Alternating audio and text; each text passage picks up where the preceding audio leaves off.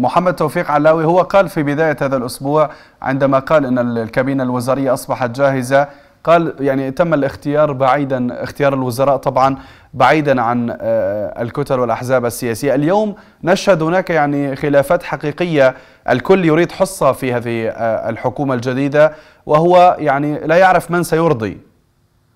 محمد توفيق علاوي بالنسبة للشعب هو شخص مرفوض كونه مجرب وكونه نائب في دورتين ووزير الاتصالات أيضا في عهد المالكي وهناك ملفات عليه. ولكن هنا نتحدث عن وجهة نظر الطبقة السياسية، أنا لم اكمل الجانب الأهم في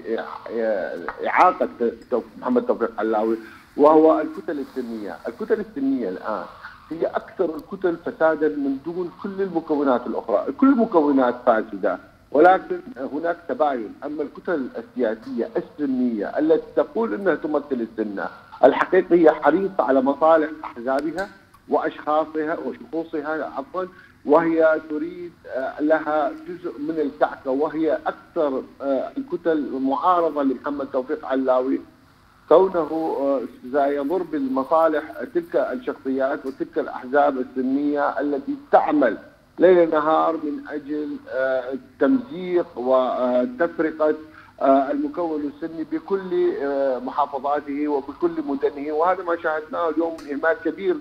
وواضح جدا في الموصل في صلاح الدين وبقية المدن الأخرى. كون هذه الكتل لم تستطيع أن تمثل أبناء السنة بصورة صحيحة وواقعية كونها أيضا هذه الكتل هي بارتباط مباشر تأخذ الأوامر من إيران آه، آه، ولذلك تجد انها اليوم حريصة على عدم تشكيل حكومة محمد علاوي التي حسب رأيي المتواضع وحسب التسريبات التي وصلتني وصلتني بأنه سيقوم بتشكيل حكومة ربما هناك فيها مفاجآت. وربما هناك استبعاد كبير جدا لشخصيات سياسية كانت مرشحة وبقوة ولكنه تم استبعادها بأشخاص تكنوقراط أو شبه تكنوقراط وهذه المسألة الرئيسية التي تواجه محمد توفيق علاوي في المرحلة الحالية آه، للإعلان عن الحكومة المرتقبة في بغداد.